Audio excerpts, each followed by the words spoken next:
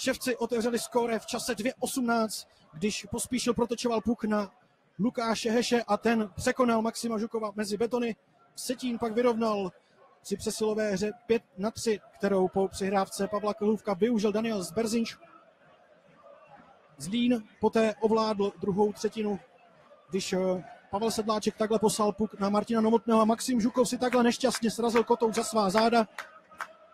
Ševci pak udeřili ještě jednou v signalizované výhodě. Obstaral nakonec vítěznou trefu svého týmu Bedřich Keller, když si takhle natáhl puk na osu hřiště a překonal Maxima Žukova nad rameno. Setín zdramatizoval utkání ve třetí části hry.